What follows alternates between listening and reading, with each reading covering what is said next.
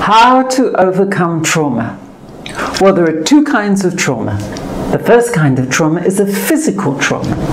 Maybe you've been in an accident, maybe you're in hospital, maybe you've been disabled. And the second kind of trauma is psychological trauma. And the psychological trauma is you may have found something out that you didn't want to hear. You may have experienced something and it sent you into shock.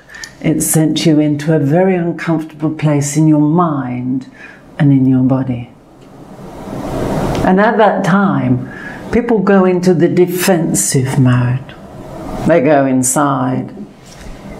And that doesn't really work.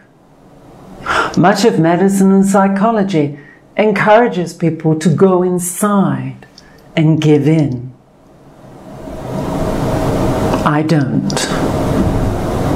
The way I work with people is I encourage you to engage with the situation so that you take control over the situation. And that gives you back power, it gives you back strength, it gives you back ability to maneuver and manipulate the situation.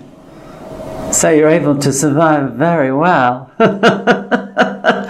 and strong and move forward with your life in a positive way. Trauma is an experience, but many people stay in the post trauma state for months, years, sometimes a lifetime.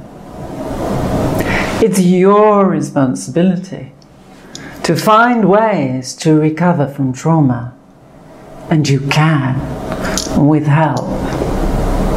And if you'd like more help, you can read How to Recover from Trauma in my book, Inspiration for Survive and Prosper How to Recover from Crisis Fast.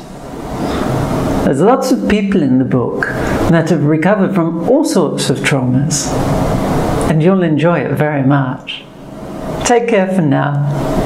See you later.